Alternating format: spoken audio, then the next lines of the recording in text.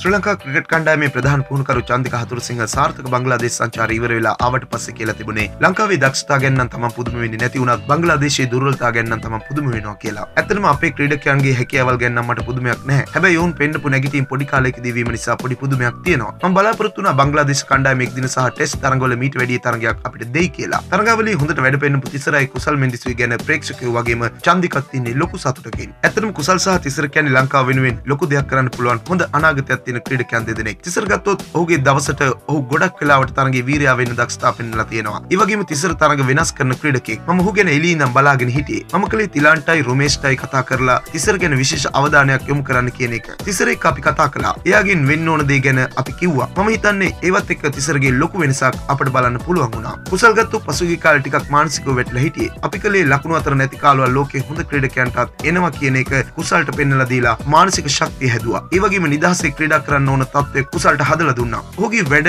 නැවත අපිට බලන්න පුළුවන් වුණා. තමන්ගේ පළවෙනි සංචාරය හොඳටම කළ සයන් මදුසංක ගැනයි තමන්ගේ පළවෙනි ටෙස්ට් තරගයට ක්‍රීඩා කරපු අකිල ධනංජය ගැනයි චන්දික කියලා තිබුණේ මේ වගේ කතාවක්. ෂයන් ගත්තම මම ඔහුගේ විශේෂ හැකියාවක් දැක්කා. අපි ඔහුට කිව්වේ පුළුවන් දේ කරන්න. එතනින් එන ප්‍රතිඵලය ගැන ඒ තරම් හිතන්න එපා කියලා. ඒ වගේම අකිල ටෙස්ට් තරඟ වලට දැම්මේ නැතුව තිබුණාත් මට ඔහුගේ ඇතුලේ හොඳ ටෙස්ට් පන්දු යවන්නෙක් දකින්න පුළුවන් වුණා. ඒ වගේම චන්දික අකිලගේ දැන් තියෙන හැකියාව මුරලිට තරුණ කාලේ තිබුණ හැකියාවත් එක්ක සම කිරීමත් හරිම විශේෂ කරුණක්. අකිලට හොඳ පිටදඟ පන්දුවක් තියෙනවා. ඒ වගේම නව පන්දු කීපයක්ම යවන්න පුළුවන්. මට අකිලගේ මේ පන්දුව මුරලි තරුණ කාලේ මතක් කළා. මම කියන්නේ නෑ අකිල හැම තරගයකම ක්‍රීඩා කරන්න ඕන කියලා. දඟ පන්දු යවන්නට සුදුසු ඔහුට ගැළපෙන තනතිල වලට අකිල දැම්මොත් ඔහුට ලොකු වැඩක් පෙන්වන්න පුළුවන් කියලා නම් මට විශ්වාසයි. ඇත්තටම අකිල පළවෙනි ටෙස්ට් තරගයේ පන්දු යවපු විදිහෙන් ඔයාලටත් හිතෙන්නේ නැති. ඇයි අකිලට මේ තරම් කාලයක් ටෙස්ට් තරග නොදී තියාගත්තේ කියලා.